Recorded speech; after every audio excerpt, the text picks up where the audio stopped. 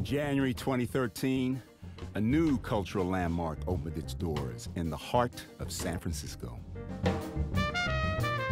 When I think about that neighborhood and having played at Kimball's when it was there, at the Symphony Hall, at the Opera House, at the Herbst Theater, and then you see this glorious, beautiful jazz palace in the middle of that neighborhood, it seems like just this organic progression. The mother of that building is the music itself. I think the primary reason San Francisco is the perfect city for a project like this is a city that celebrates newness and exploration, creativity, all the things that this art form's about. We have a building near the opera, near the symphony, near City Hall that says jazz. And people will get the best jazz experience, they'll get the best jazz education, and musicians will have the greatest place to play.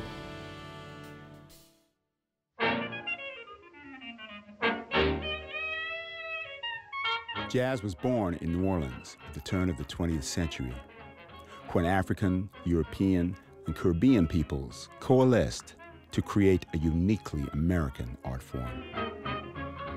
This new music soon found its way to the city by the bay and the bawdy Barbary Coast district, where fabled New Orleans pianist and composer Jelly Roll Morton lived and performed for a spell.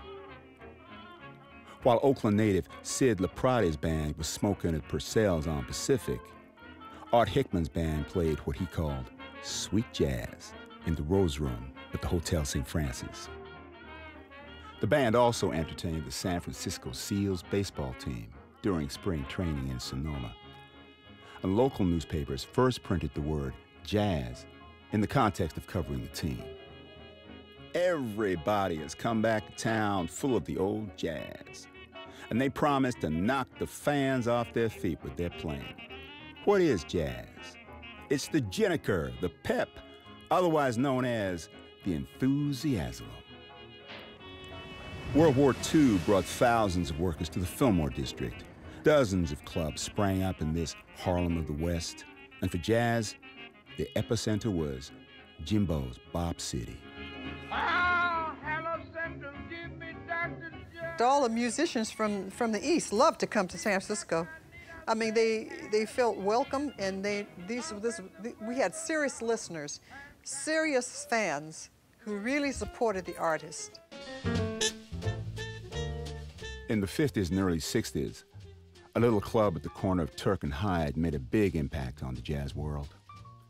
Miles Davis and other greats recorded classic albums at the Black Hawk, and Concord native Dave Brubeck had a residency there.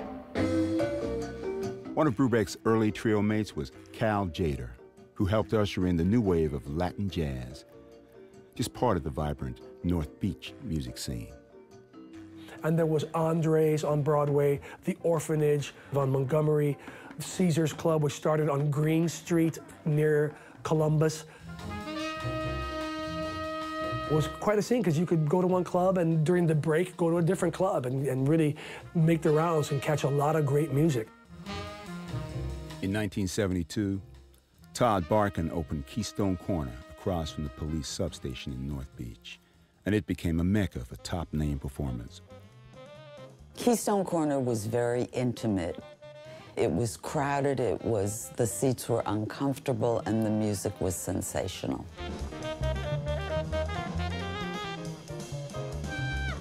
When Keystone went bust in 1983, a Japanese restaurant in Oakland, Yoshi's, became the top venue for touring and local artists.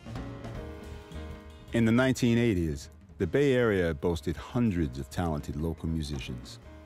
SF Jazz decided to present a jazz festival to showcase the area's diverse talents.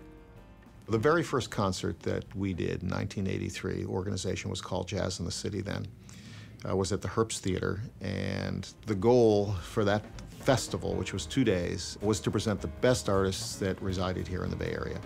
We didn't do so well uh, in that first year, but as an organization, we grew tremendously. We doubled in size every year to three years.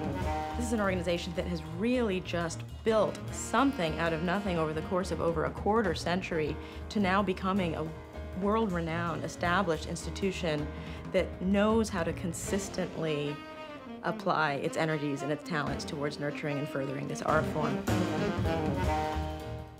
Today, SF Jazz fosters its mission with three main activities presenting live performances, offering educational programs for all age groups, and supporting their musical emissaries, the critically acclaimed SF Jazz Collective. Formed in 2004, the collective is a rotating group of eight of the planet's best musicians.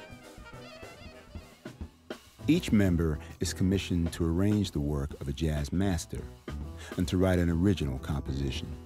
They come together once a year for a two week residency before going out on tour with the new repertoire.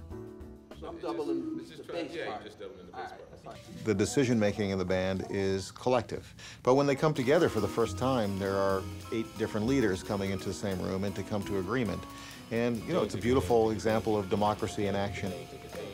It's a very challenging situation because every year there's 16 new pieces that we have to learn in a couple of weeks and get them up to performance speed.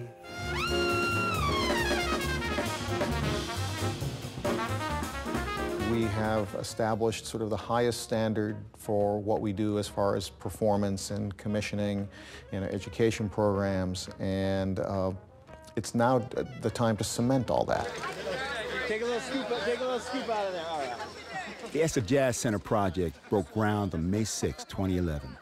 After 10 years of planning and fundraising, and more than 30 years of thinking about what it could be. It's a long time to think about something. And this wood is meant to be acoustically transparent, and so that's all on the ceilings, under the catwalks, and then all coming down the sides in the auditorium. It isn't one individual thinking about it, it's a lot of people thinking about what's the best way to do this.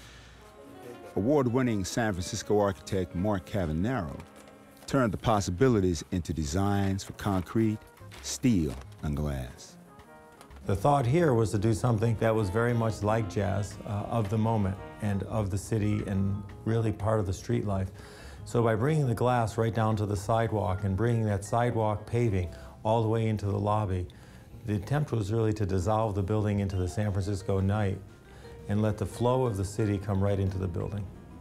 The big room is approximately 90 feet by 90 feet by 40 feet high, and the idea was to make a room that was more like a community space than a traditional theater. The idea of intimacy was really important. We wanted to feel more like a club than a great hall, even though we want the acoustic quality of a great hall. We wanted to feel like you're playing in someone's living room. And Joe Lovano, I believe, talked about a Roman amphitheater in the south of France that he loved performing in that was very steeply raked. And so instead of looking out across the top of heads to the rear of the theater, you're really, as a performer, just looking out into a sea of faces. And you're seeing them react, and you're seeing their eyes, not the top of their heads. And you're feeling their energy, and you're performing with them and for them. And that vibe, that energy comes back to the performer, and they love that. The second floor lobby is graced by murals depicting the history of jazz, created by Sandow Birk and Elyse Pignolet. We're really happy to be working on these three large murals for the fantastic theater that they're building uh, in the Hayes Valley neighborhood. And the murals tell the story of jazz in the United States and jazz in the city of San Francisco. On the Fell Street side of the ground floor, a restaurant and bar, open from early morning to late night, will feature cuisine by culinary luminary Charles Phan, who jumped at the chance to be at the center interesting. I, I, was like, yeah, like yeah. I mean, SF Jazz. You know, I heard that name for years and went to some of the concert. Um, I, I, even bought some T-shirt. I think over the years. But we want to have that sense of community. People will use it, the the restaurant and the building, different time of day for different uh, usage. The idea is the food with a story and a history and a past.